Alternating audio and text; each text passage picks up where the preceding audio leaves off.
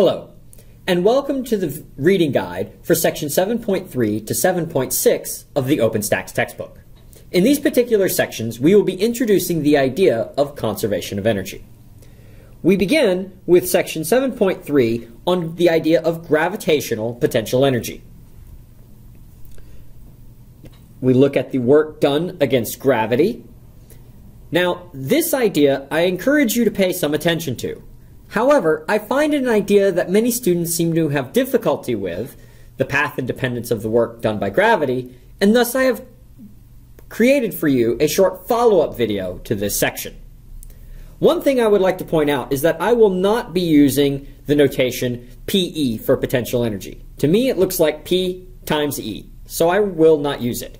Instead of PE, I will use the symbol U for potential energy. And so the gravitational potential energy will be written U little g.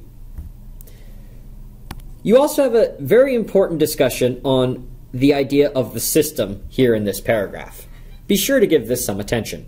The next subsection goes into converting between potential and kinetic energy, and you should pay some attention to this. And then we move into exploring the idea of using potential energy to simplify calculations. Many of the problems that we will do with conservation of energy could have been done with our good old F equals ma framework. However, many of these calculations will be done more simply using energy.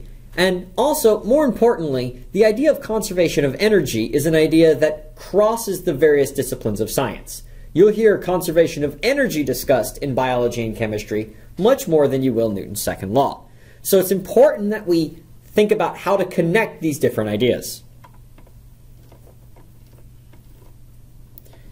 So example 7.6, you have the work done by gravity in terms of a potential energy problem. Lots of good examples in this, converting uh, potential energy to kinetic energy, example 7.7. You'll have quite a few homework problems along this particular type of line.